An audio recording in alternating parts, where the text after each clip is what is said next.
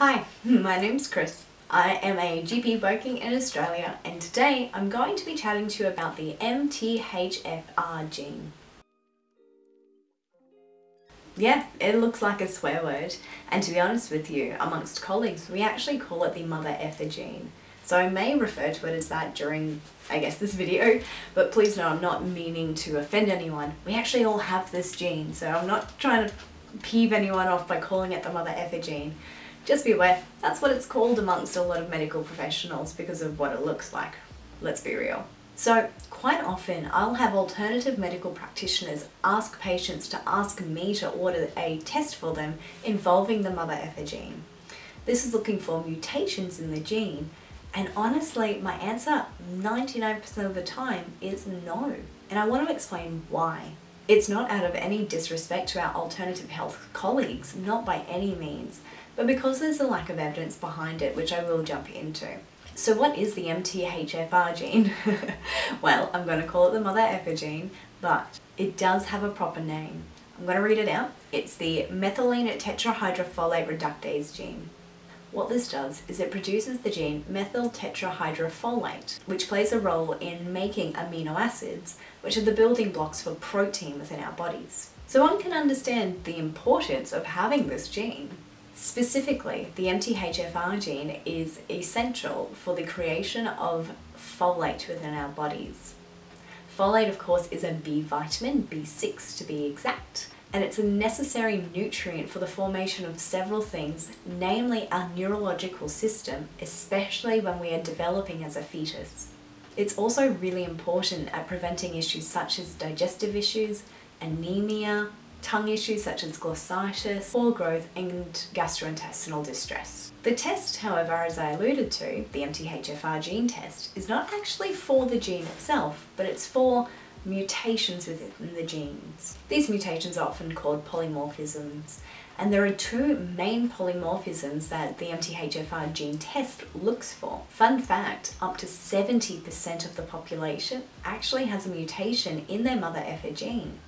70%. So there's a good chance that you watching this may actually have a mutation in your mother effer gene.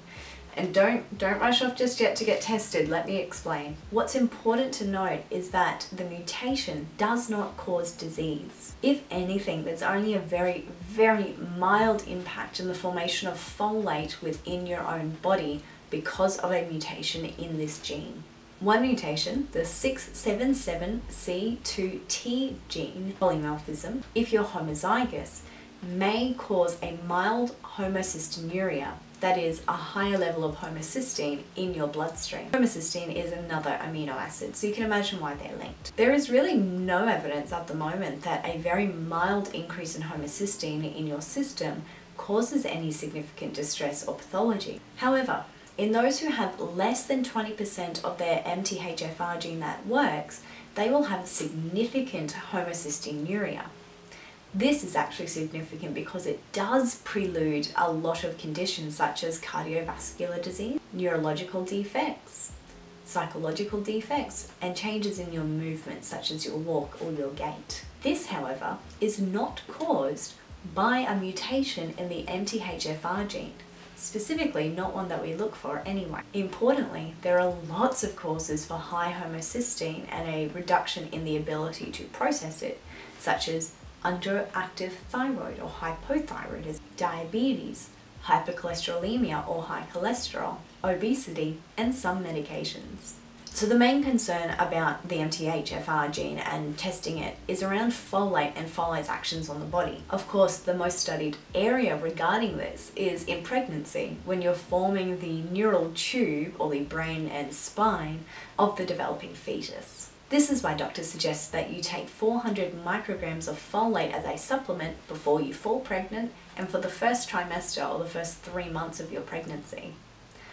Note that this, it doesn't matter if you've got an MTHFR gene mutation, if you've got a diet high in folate, we want you to supplement anyway because we know that 400 micrograms of supplementation meets your minimum requirements it doesn't discriminate about whether or not you've got a low folate diet or different, I guess, other comorbidities or diseases in your body.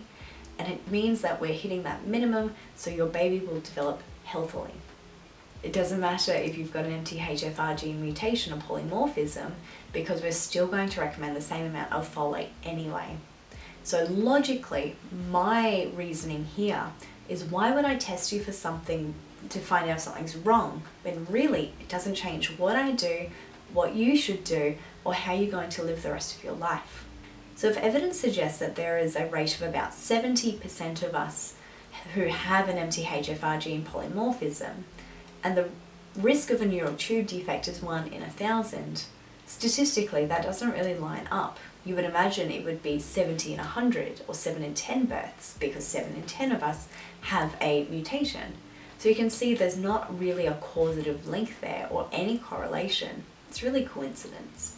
There hasn't been enough studies as of yet looking into the environmental factors, especially folate supplementation in those who do have the 677C2T gene mutation, who theoretically may have an increased risk of neural tube defects because they I guess theoretically have a very mild reduction in the internal folate that they're producing. So at the moment, I wouldn't test someone who's wanting to fall pregnant for the MTHFR gene or its uh, polymorphisms because it's not going to change what I suggest and it's not going to change your risk through pregnancy. So it's just an expensive test for no benefit.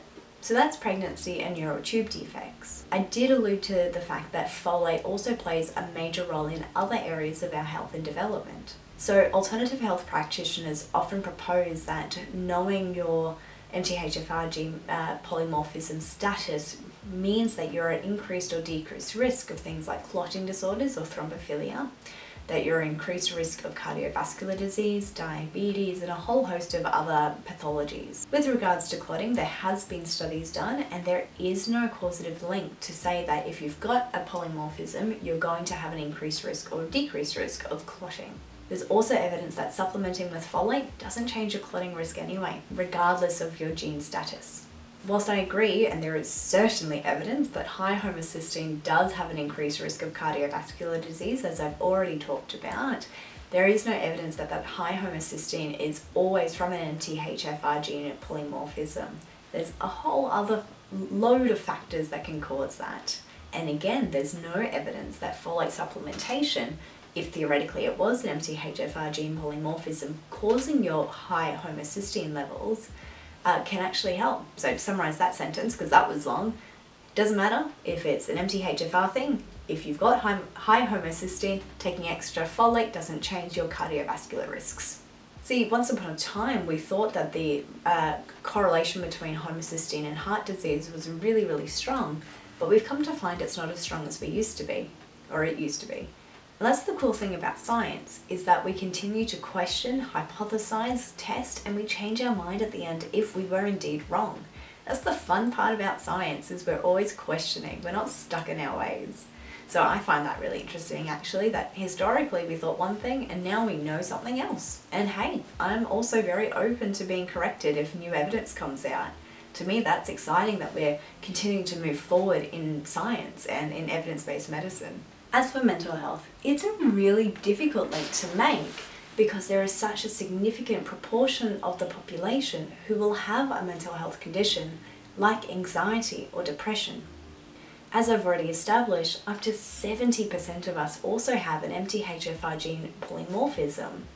So it's really hard to know if it's caused, correlated, or just coincidence. Looking at it backwards, however, if you assume that it is an MTHFR gene polymorphism that predisposes or worsens anxiety and depression, surely treating it with folate or vitamin B6 and other B vitamins would then be more of a good treatment and cure, I suppose, for these conditions. Studies have been done doing this and unfortunately there's just not a good link there, which is really a shame because I wish that we could treat anxiety and depression with B6 would be fantastic.